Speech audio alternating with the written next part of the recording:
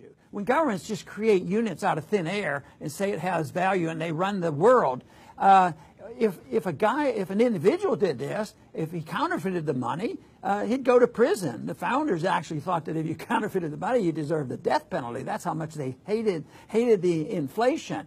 But uh, taxes would go down under the circumstances of the free market because the printing of money is a tax. You the value of the value of the money, and the government gets the benefit uh, from from this. Do you th- do you think gold is money?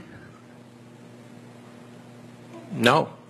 It's not money. It's a, Even it's if it had been metal. money for 6,000 years, somebody reversed that and eliminated that economic law.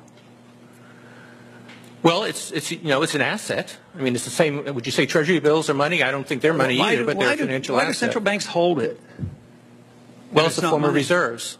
A Why don't they hold diamonds? Well, it's tradition, long-term tradition. Well, some people still think it's money.